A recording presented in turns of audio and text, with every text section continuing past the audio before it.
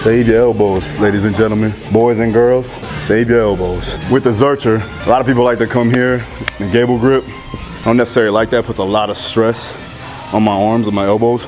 So another thing is that you get more upper body activation when you spread your hands apart. So I'm gonna grip my hands tight. So I'm gonna create irradiation, right? Nice tight uh, grip here, from here, get it up off the rack, get my feet properly placed.